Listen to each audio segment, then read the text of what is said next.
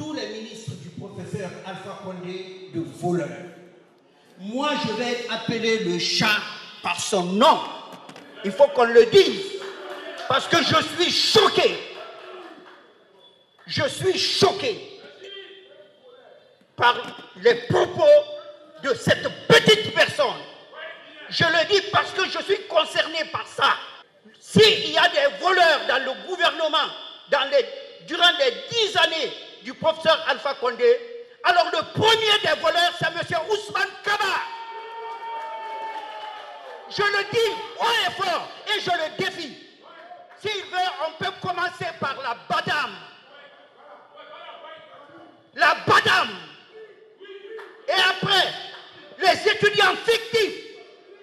Plus de 1000 étudiants fictifs. Je le mets au défi. Comme il se prend pour M. Qu'à expliquer au peuple de Guinée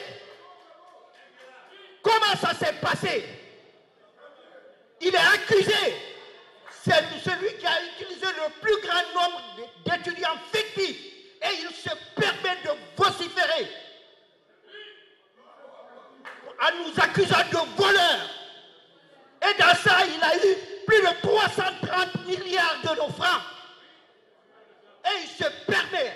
Vous savez, je suis très euh, humble, mais une des choses que j'ai préservées durant toute ma carrière professionnelle, c'est d'être accusé de voleur.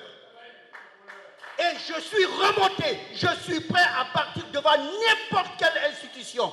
S'il veut, monsieur Ousmane Kaba, il, il n'a qu'à m'appeler. Je suis prêt à l'affronter. Il ne va pas me traiter de voleur je laisse passer. Il ne va pas nous traiter de voleur et que je laisse passer. Il est le premier des voleurs.